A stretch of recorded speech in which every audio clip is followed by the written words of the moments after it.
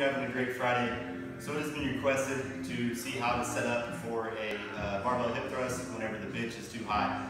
So hypothetically speaking, let's say I'm not spoiled and don't have a hip thruster in my garage and I'm having to use a bench that's too high so that whenever I sit on the floor, it's kind of like this and the bench is at like the top of my shoulders instead of where we need to be on the edge of the bench, which is below the shoulder blades. So here's where you, here would be much better starting position.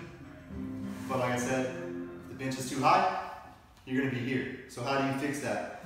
So what you can do is you can take a bumper plate, a, a foam pad, something like that, put it down so that you're sitting on it, and now you're automatically in the right position with the bottom of your shoulder blades on the edge of the bench to pivot from. Let's say though, if you're someone like myself who has really thick thighs, thick thighs save lives, and you can't now get the bar over your legs like I can due to sitting on this bumper plate. So then you have to rig, you can grab, so I'm gonna use these uh, thick pads here. They're like three quarters inch thick. You can also use more bumper plates similar to what I'm sitting on. So now, whenever you go to get into position, easily roll it over your thighs. You're in a good position. And then you can start your set from here.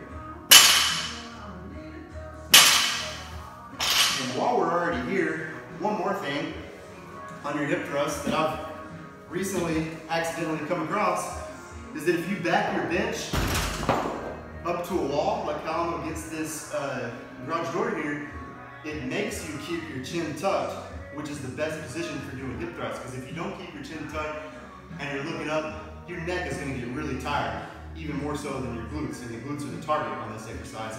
So we don't want that to happen. So by scooting up against a wall or my garage door here, it forces you to keep your chin tucked and looking straight ahead like this. Because if you don't, you're gonna hit the wall.